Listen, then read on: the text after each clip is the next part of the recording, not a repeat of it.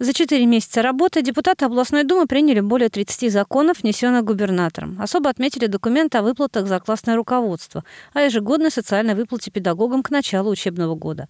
Председатель облдумы отметила хорошие отзывы о законе, который инициировал губернатор, о региональном материнском капитале. Также депутаты обсудили работу в округах. Станислав Воскресенский порекомендовал не снижать темпы, которые набрали во время избирательной кампании. На встрече, безусловно, зашла речь и о перспективах совместной работы в год семьи, который объявил президент.